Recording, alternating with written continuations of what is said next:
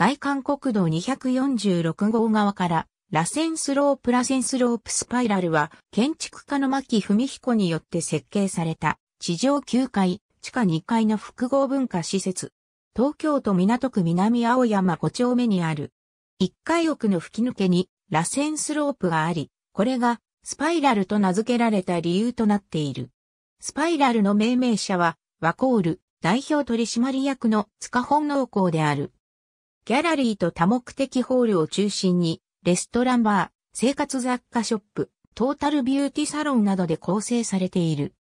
1985年10月のオープンから生活とアートの融合をコンセプトに活動しており、現代美術やデザインの展覧会、演劇、ダンスなどの舞台公演、コンサート、ファッションショー、シンポジウム、パーティなど、極めて同時代性が高く、またジャンルを融合するようなアートイベントを数多く送り出している。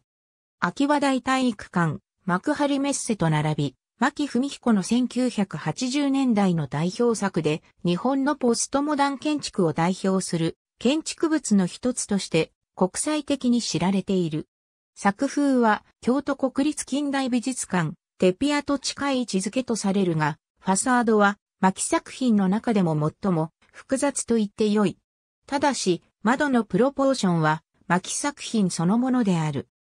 1階から3階は世界に類を見ないユニークな構造を持っており、ギャラリーを見渡すカフェからショップを通って多目的ホール、スパイラルホールへと連なるオープンな空間構成が通常の美術館や劇場とは異なったアートとの出会いを体験できる。地下1階の青山階ではコンサートやシンポジウムなどが開催されている。宮脇愛子の彫刻がある。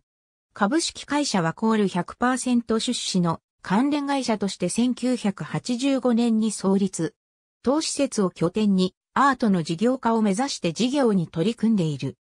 高野長英先生隠れ家のヒスパイラルの立つ南青山五丁目界隈は江戸時代には青山百人町と呼ばれていた。御家人の屋敷が多数並ぶ一帯で、その中に幕末の蘭学者である高野長英の終焉の地となる隠れ家があった。